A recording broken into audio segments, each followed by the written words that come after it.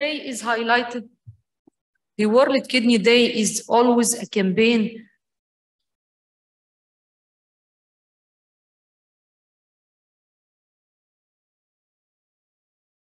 Sorry, this one. I need further back. Back. Back, okay, this is back.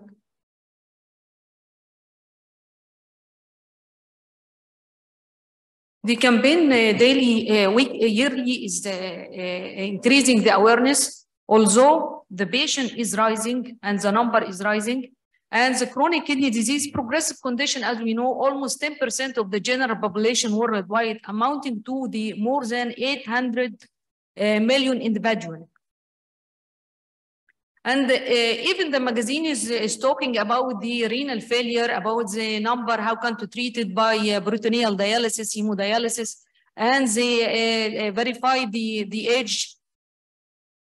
Uh, Kidney Foundation also uh, show in 2020 that the number is rising, the cause of this is, is rising by CKD. As I told that the hyperkalemia, one of the sign and symptom of the CKD and uh, raising the hyperkalemic uh, awareness and sharing the update and management is very important. In fact, we are worried about the uh, rising potassium where the level exceeding 8.5 uh, can cause respiratory failure and cardiac arrest. As we told that the potassium level, accordingly, if it increasing more than 5.5, you are worried, and we have to confirm, is it pseudo or uh, is it typical hyperkalemia? Hemodialysis, uh, hemolysis and severe polycythemia or high platelet or white blood cell and prolonged tourniquet can in induce hyperkalemia. Potassium uh, homeostasis, as we know, as I told, 98% is inside the cell, while 2% is a total body potassium is located in the extracellular fluid and postprandial insulin shift dietary potassium into the cell by increasing the activity of the sodium potassium adenosine triphosphate. As we know, the mechanism of the hyperkalemia is induced by reduction in the glomerular filtration rate, tubular flow, and distal sodium delivery or overexpression of the aldosterone sensitive ion transport. And almost our CKD patient, 40 to 50% develop hyperkalemia, while in the normal population, 2 to 3%. As we know, the potassium homeostasis, the kidney is a master, but in fact,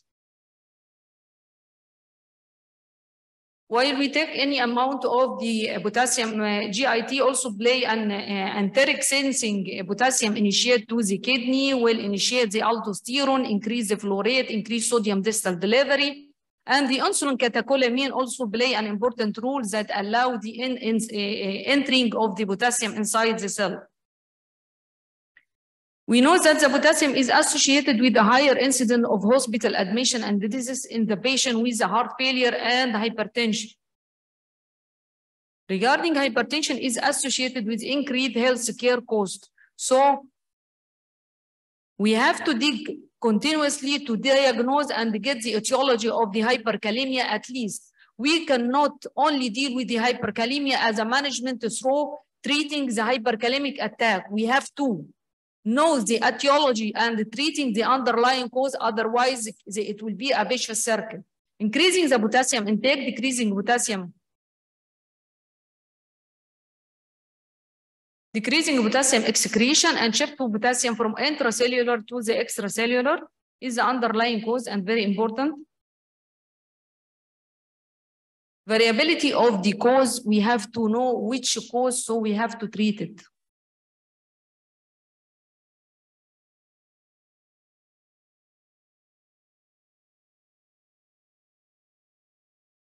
In fact, increased potassium intake cannot affect the normal person, but in fact, in case of CKD, most of the cases develop hyperkalemia. So we are telling our patient dietary intake of potassium should be prohibited. Penicillin G, eh, eh, eh, high, high, high dose of penicillin G also contain potassium, uh, blood perfusion, cardioplegic solution, decreasing the potassium excretion, as we know, from impaired renal excretion of potassium and renal tubular acidosis. Type 4 uh, renal tubular acidosis can be in diabetic uh, patient, sickle cell disease, lower urinary tract, and adrenal insufficiency and primary Addisonian syndrome. Medication which are encountered most of our patient in ICU, uh, uh, this list is repeated most of the patients. They are using NSAID, uh, spironolactone, angiotensin receptor, and the ACE controlling for the patient heart failure, cyclosporin, tacrolimus in renal transplanted patient, heparin, ketoconazole, and herbs. In fact, the most uh, worry about digital toxicity, rhabdomyolysis, cyclosporin, methotrexate, and tumor lysis syndrome, and beta adrenergic blockade, which are mostly used uh, in heart failure patients. In fact, the underlying cause of hyperkalemia in diabetes is uh, intake of healthy diabetic diet, which is rich in potassium, underlying renal disease, which develop hyporeninemic hypoaldosteronism, which is type 4 renal tubular acidosis, ACE and ARBs, which are common molecule used for treatment of diabetic nephropathy, insulin deficiency or resistant to insulin action. In fact, hyperkalemia is highly prevalent and recurrent in the patient on dialysis, as we know.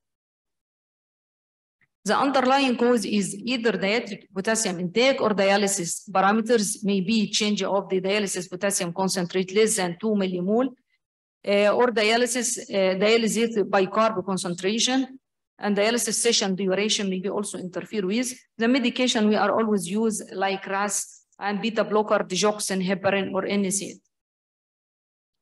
The commonly consultation for our patient is a CKD, diabetic patient, resistant hypertension, heart failure. Certain patient subgroup are highly with high incidence of hyperkalemia. And these patients mostly admitted in the uh, case of uh, uh, medical ICU or surgical ICU with some attack of hypertension, resistant diabetes, or advanced stage of CKD. While you found the risk of hypokalemia or hyperkalemia associated with mortality in the patient with chronic kidney disease, other mortality, other comorbidity like diabetes and heart failure. In fact, many patients with CKD have a recurrent hyperkalemia. Once you get one episode in one patient in hyperkalemic, hyper, get hyperkalemia in CKD patient, susceptibility to develop two and third attack of hyperkalemia within a shorter time. Same for heart failure. The many patients with heart failure have recurrent hyperkalemic episode with successful shorter time between the episode. Many individuals with hyperkalemia are asymptomatic, but some patient come, we know that by, by palpitation, chest pain, nausea, vomiting, even up to paresthesia or hyperkalemic uh, paralysis. In fact, we are searching for the sign and symptom to know the underlying cause to treat the patient properly. We get some uh, complaints that uh, maybe I have muscle weakness, flaccid paralysis, uh, depressed or absent deep tendon reflex by examination. But mostly we are worried about the arrhythmia or cardiac arrest. Hyperkalemia has a depolarized effect on the heart, causing shortened action potential and increasing the risk of arrhythmia. Hyperkalemia also cause neuromuscular symptom and metabolic acidosis and suppression of ammoniogenesis. We have to treat the patient and focus for the treatment. As we know all the al uh, algorithm, we are thinking if the patient is oliguric or uh, hyperkalemia expected with uremia, most probably we are uh, starting CVC and starting hemodialysis. But in fact, we have to look to the ECG and started the normal uh, protocol of hyperkalemic management, which is started with calcium gluconate, one ampoule as slow, one to two minute intravenous can be repeated in five, after five minutes. But we have to look if the patient on digital therapy, we cannot give calcium gluconate. Again, we are evaluating the ECG and we start the medication by the insulin glucose, as we know, by the doses and the nebulization of salbutamol. And we start to correct the acidosis if the patient is acidotic by bicarb.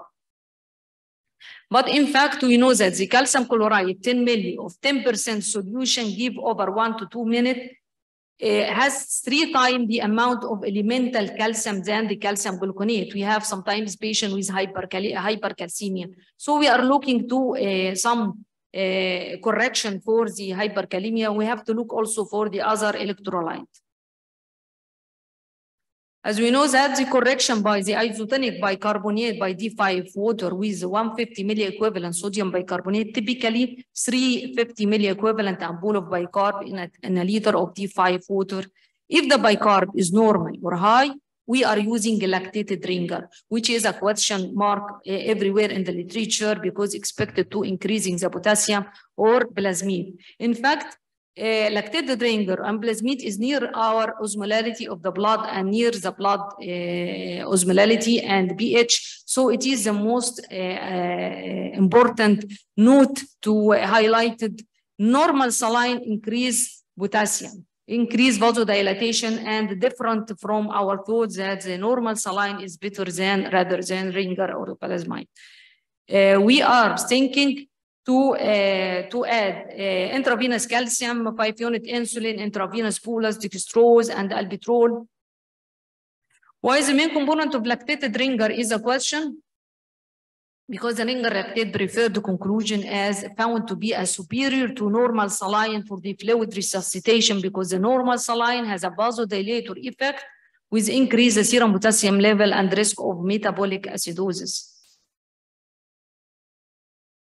This is a, a, confirmation that the lactated ringer solution safe for hyperkalemic patient as long as it is similar almost to the plasma osmolality and pH. intensify of all diuretics by the maximum dose can be in the patient with a normal kidney function with difficulty because we are ending by severe dehydration of the patient and we have to replace fluid therapy to be in a good map fluid to avoid more dehydration or acute kidney injury. But in patient of the CKD, difficult to reach a benefit point, even to give intravenous loop diuretic alone or sufficient in the maximized dose. So uh, sodium zirconium cyclosilicate, which is uh, Lokelma now in the market, is an only mildly effective, so it should not be relied upon as a sole treatment also. Although we give 10 milligram per os Q eight hourly means that's the maximum for two days to give 30 milligram for two days only to correct the potassium. But in fact, we rely on uh, calcium resonium, which is Kayexalate, and hemodialysis as a two option until definite treatment can be provided. Because we, if we did not know the underlying cause of the hyperkalemia, we will be in the vicious circle to try to correct and correct.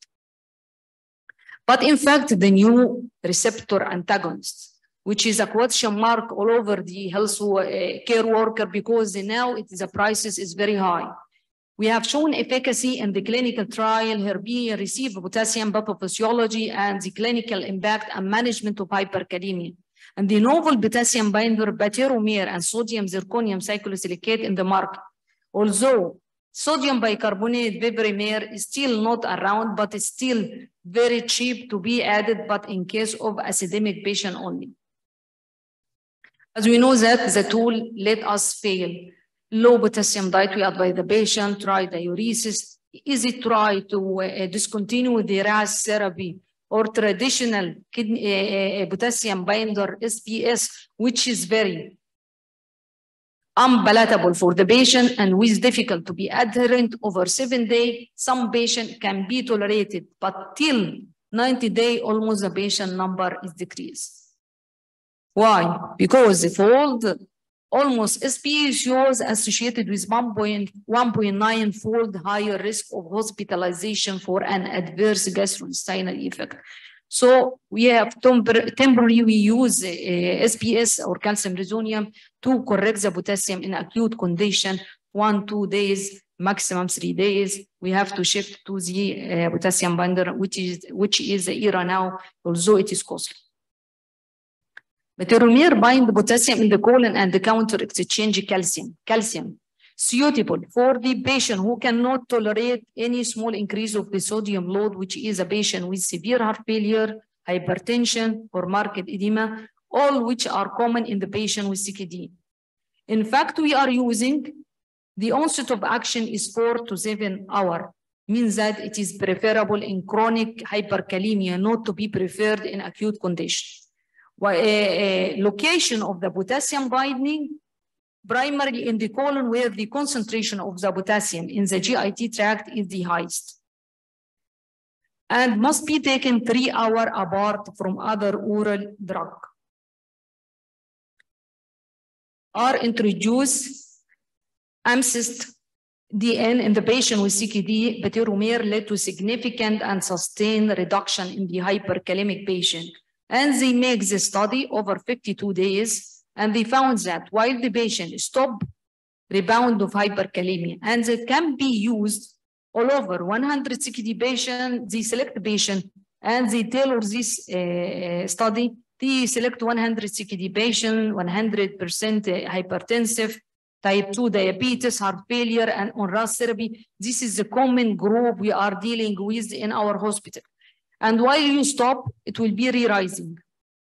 The other molecule in the market is Lokelma, Lokelma, crystal, uh, crystal structure, which is uh, inorganic crystalline zirconium silicate compound, not a polymer, insoluble, highly stable, and does not expand in water and not systemically absorbed, which is very important also.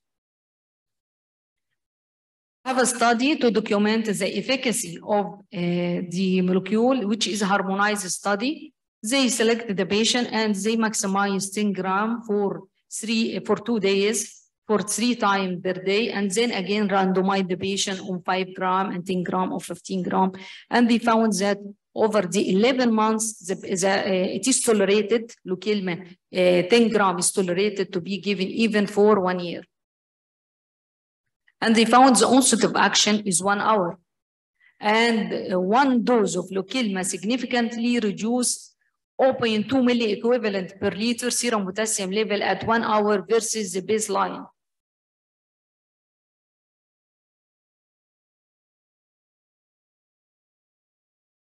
They also reduce the potassium across the patient type, any different patient like CKD or CKD with the low GFR, heart failure, diabetes, or taking RAS.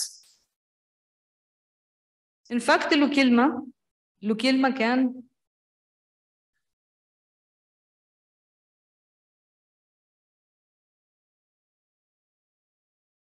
We are, uh, we are selecting which molecule according to the situation of the patient. Oh, sorry.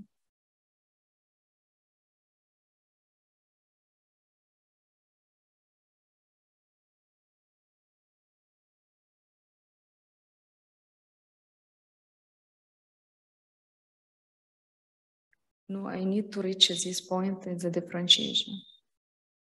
In fact, there's a difference between the molecule. No.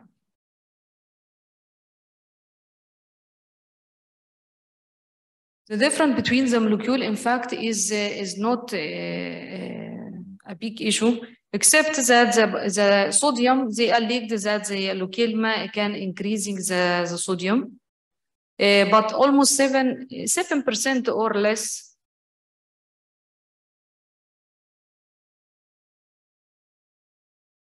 Seven percent of the patient. The only issue for Veltassa is uh, hypomagnesemia. We are uh, try to at least uh, check the magnesium from time to time in our patient. And the question that if the patient fall to you and with hyperkalemia, we will stop uh, the ACE or not? This is very important question.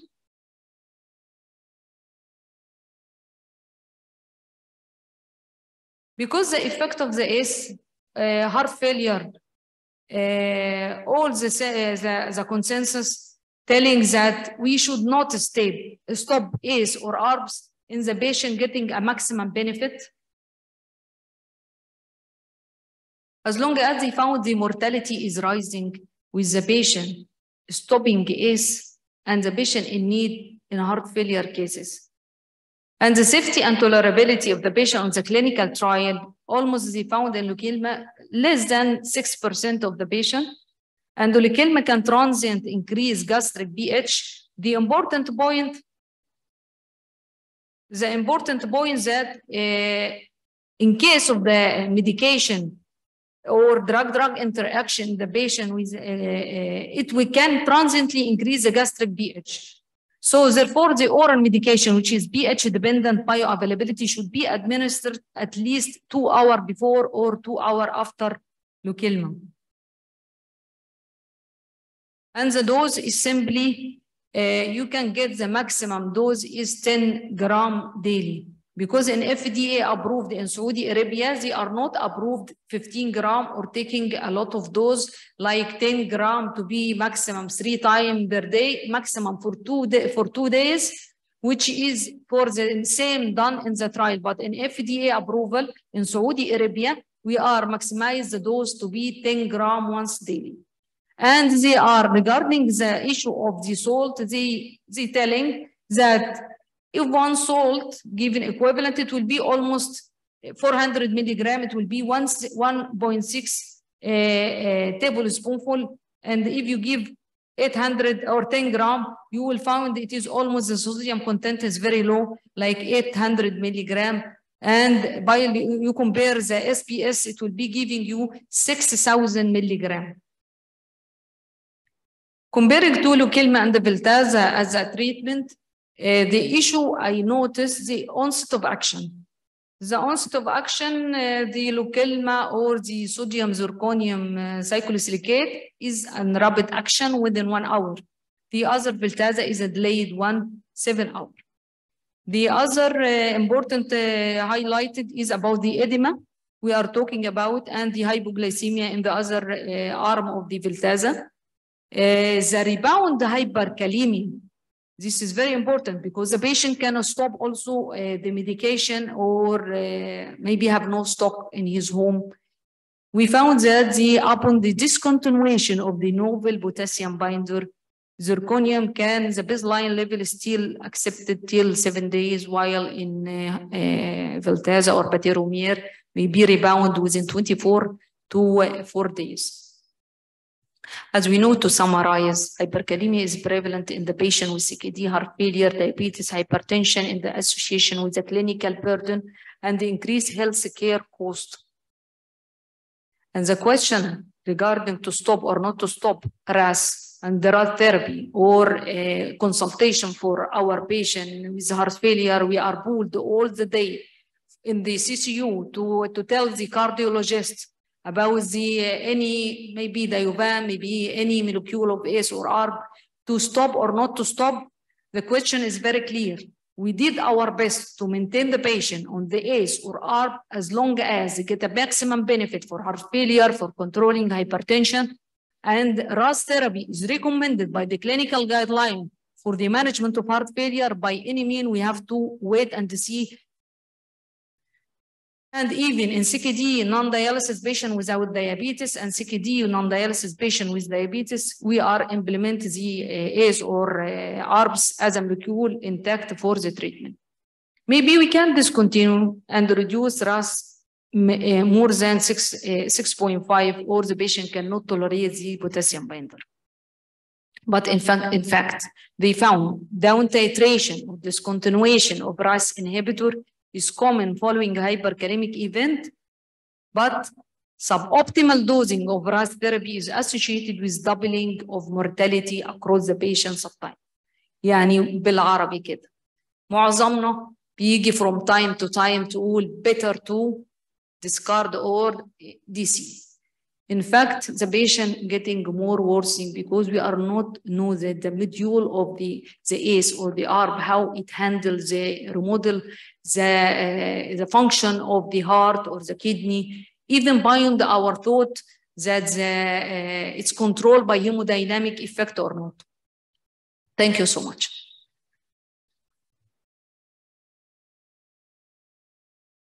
Ramadan Kareem.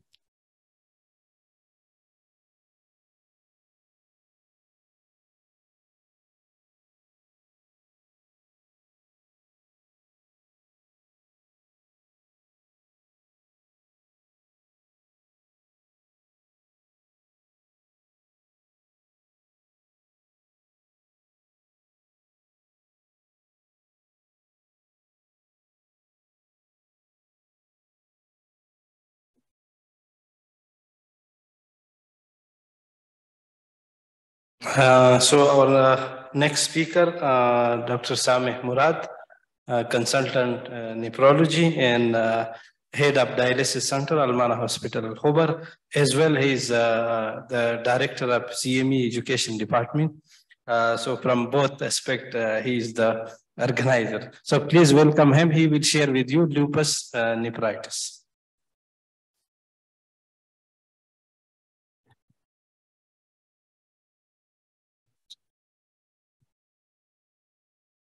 Assalamu alaikum. Thank you for coming. Thank you, Dr. Azza, for your uh, comprehensive review of uh, management of hyperkalemia. Thank you so much for being with us today.